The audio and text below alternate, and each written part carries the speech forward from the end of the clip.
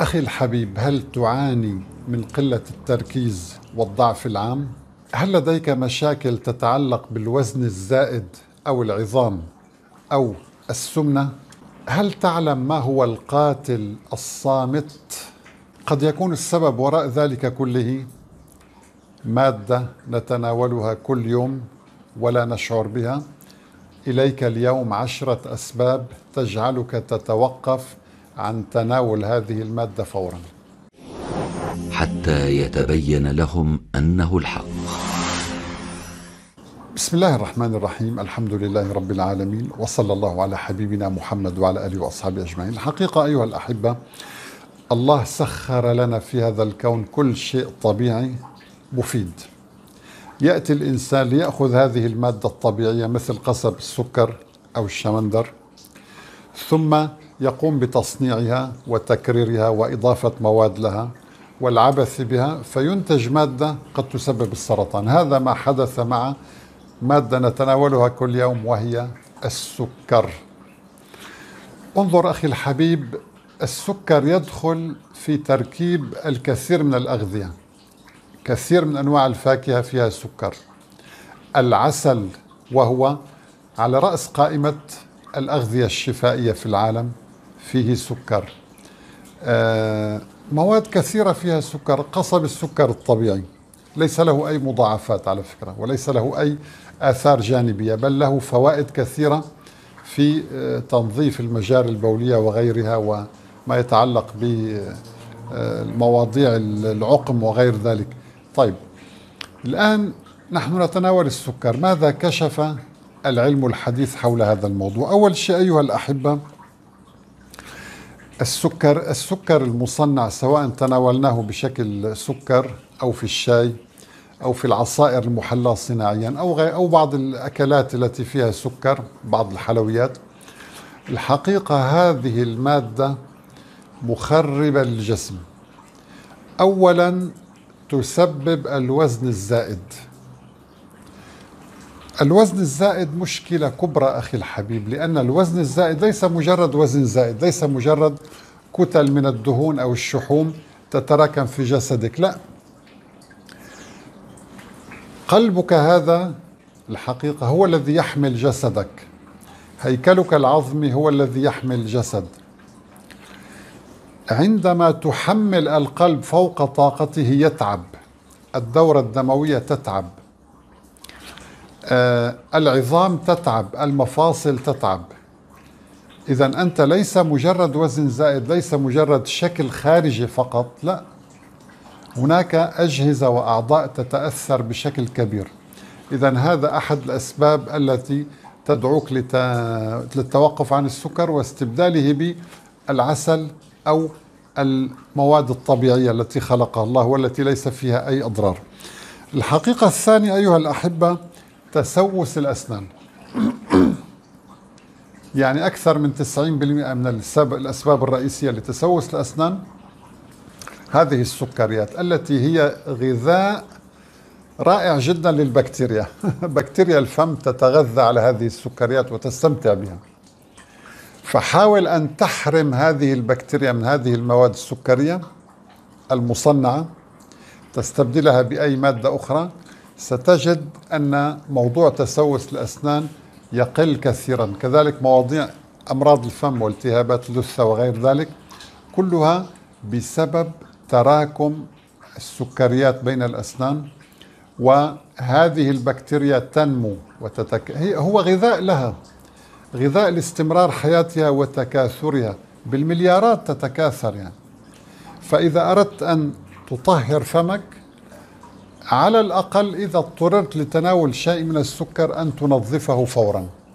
تستخدم المسواك معجون الأسنان بعض الزيوت مثل زيت جوز الهند وغيره رائع بالنسبة للفم. أو المضمضة بالماء والملح يعني هذه وسيلة بسيطة ولكن مفعولها سحري. الحقيقة هناك سبب كشف في دراسة ألمانية حديثا أجروا تجربة على أناس يتناولون السكر. وأناس لا يتناولون السكر. تصور أن السكر يسبب الاكتئاب.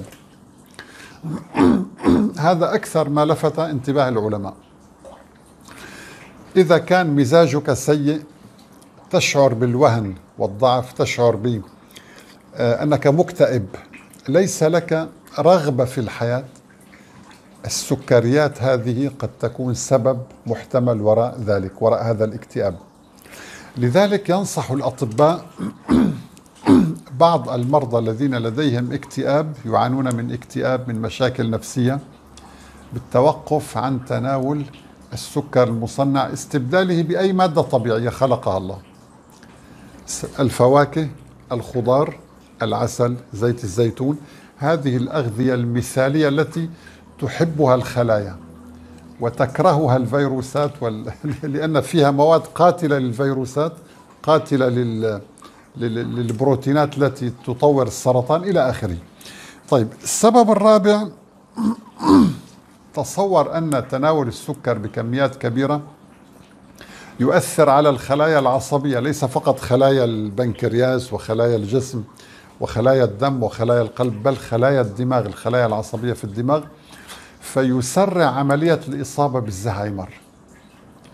هذه أيضا نتيجة وصل إليها العلماء حديثا فلذلك ينصحون كبار السن بضرورة تناول الخضار والفاكهة. وكما قلنا الأغذية الطبيعية للتخلص من هذا من هذه النوبات الدماغية الأورام الدماغية الجلطات الدماغية سميها ما شئت كلها تدمر الخلايا العصبية في الدماغ وأقلها الزهايمر.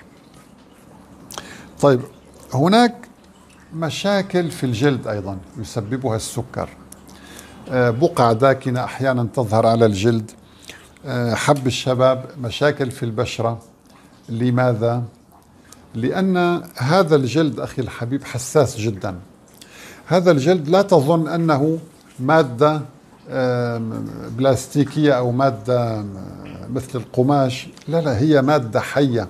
فيه سبع طبقات. فيه أعصاب لنقل الإحساس بالألم بالبرودة بالحرارة إلى آخره.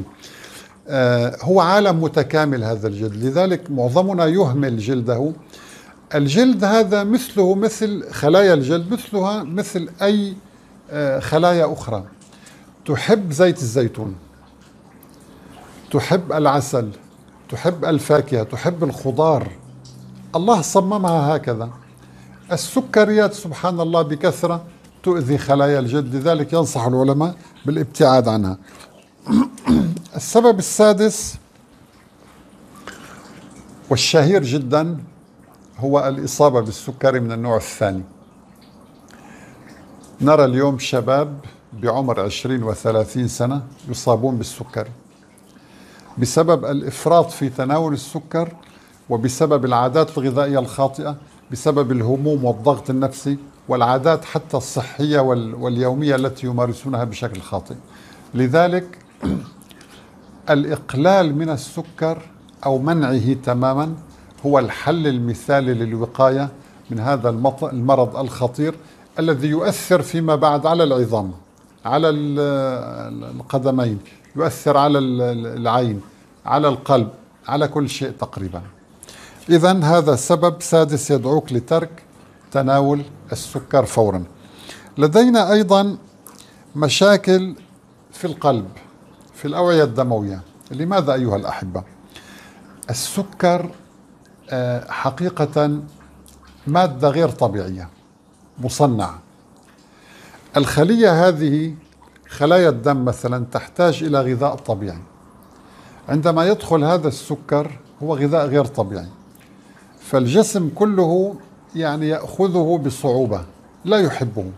مثل تخيل إنسان تجعله يأكل طعاما لا يحبه. ما الذي سيحدث؟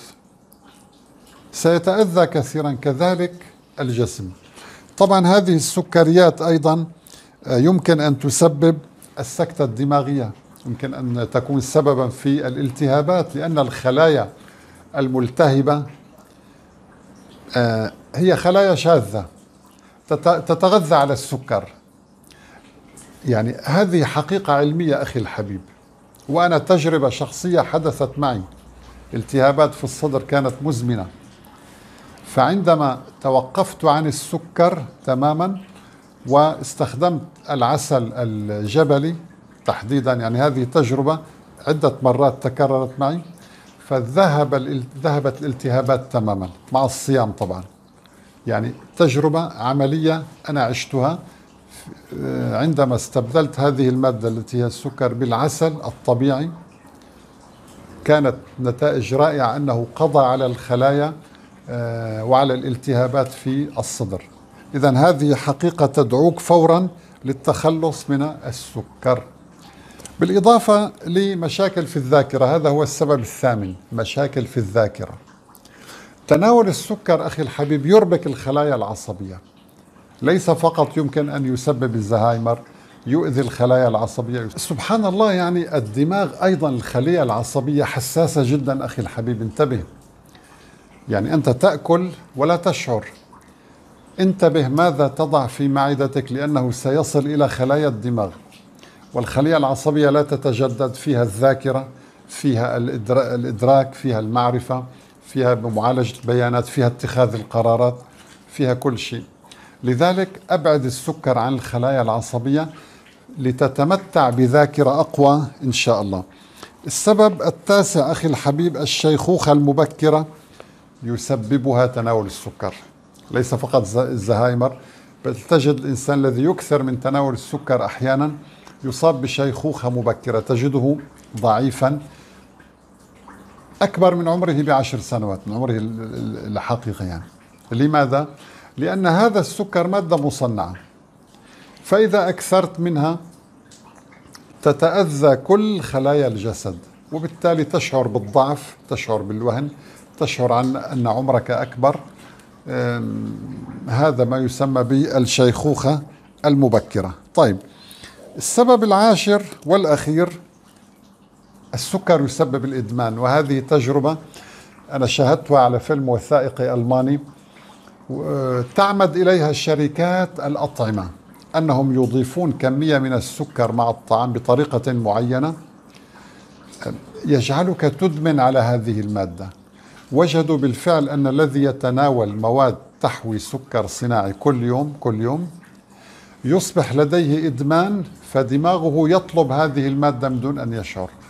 هذه الطريقة الخبيثة تستخدمها الشركات شركات الأغذية المصنعة لكي تزيد من مبيعاتها على حساب البشر.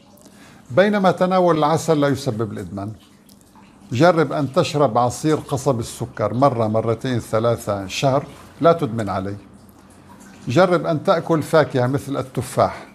حتى لو أكلته سنة كاملة لا تدمن عليه. إذا بسبب الإدمان الذي يسببه السكر توقف عنه مباشرة. وأخيرا أيها الأحبة خلاصة هذا اللقاء. هناك مشاكل سأختم بها. يعني يمكن أن أقول سبب حادي عشر تتعلق بالجهاز الهضمي. الجهاز الهضمي هذا المعدة والأمعاء وغير ذلك فيها تريليونات البكتيريا النافعة المفيدة للجسم التي تشكل العقل الثاني. إذا كان العقل الأول هنا أو الدماغ الأول هنا في الرأس فالدماغ الثاني هنا.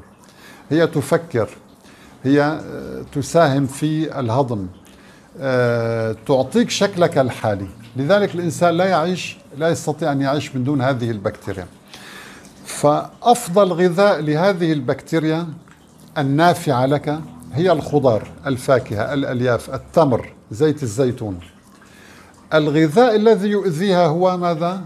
السكر سبحان الله لذلك أصبح الآن لدينا هذه الأسباب تجعلني وتجعلك على الأقل نخفف من تناول هذه المادة نستبدله بالعسل الذي قال الله فيه. يخرج من بطونها شراب مختلف ألوانه. فيه شفاء للناس. إن في ذلك لآية لقوم يتفكرون. أرجوك أخي الحبيب أن تتفكر أن تراعي هذه النعمة التي منحك الله إياها. وهبك الله هذه الصحة فحافظ عليها. وهو نوع من شكر النعمة. يعني أن نشكر النعمة نقول الحمد لله هذا شكر للنعمة. أن نسجد لله هذا شكر للنعمة. أن نحافظ على هذه النعمة. هذا شكر للنعمة. أن تحافظ على خلايا جسدك وصحتك. هذا أيضا باب من أبواب الشكر. لذلك قال تبارك وتعالى وإذ تأذن ربك لئن شكرتم لأزيدنكم. نسأل الله عز وجل أن يعلمنا ما ينفعنا. والسلام عليكم ورحمة الله تعالى وبركاته. حتى يتبين لهم أنه الحق.